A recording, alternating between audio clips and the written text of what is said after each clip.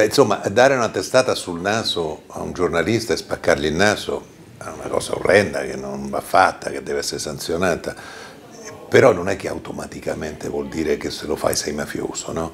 E invece in caso di questo Roberto Spada, la sapete tutti, la vicenda di questo eh, signore di Ostia che ha spaccato il naso a un giornalista eh, della RAI, e, mm, che è finito in prigione anche se la legge non lo consentiva perché il reato era un reato che prevede una pena inferiore ai 5 anni e quindi non prevede ehm, la carcerazione preventiva, lo hanno arrestato lo stesso sostenendo che la testata fosse mafiosa.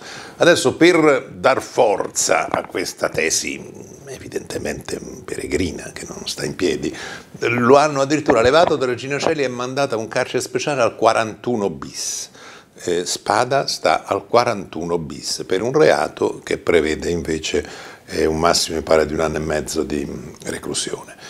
Mm, punto, e poi ci torniamo fra un minuto. È morto Totorina, che stava al 41 bis, Totorino stava malissimo, era moribondo eh, da molto tempo, era stata chiesta la sospensione del 41 bis eh, per permettere anche ai familiari di vederlo, eccetera, ma è stata negata.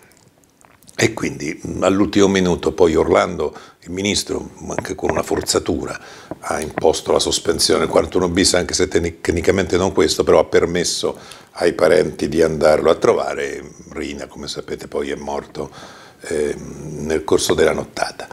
Mm, terza scena, eh, poi le rimettiamo tutte insieme, eh, l'ONU ha detto che il 41 bis non va bene perché il carcere duro non è previsto nelle democrazie, esiste il carcere, non il carcere duro, il carcere duro è previsto nelle dittature, nei paesi eh, dove si governa con la ferocia. Mettiamo insieme queste tre cose. Mm, generalmente si dice che il 41 bis serve per impedire la comunicazione fra i capi della mafia e i picciotti e che questo è il motivo per cui non, non, è che è carcere duro perché vogliamo essere cattivi eccetera, ma per impedire le comunicazioni.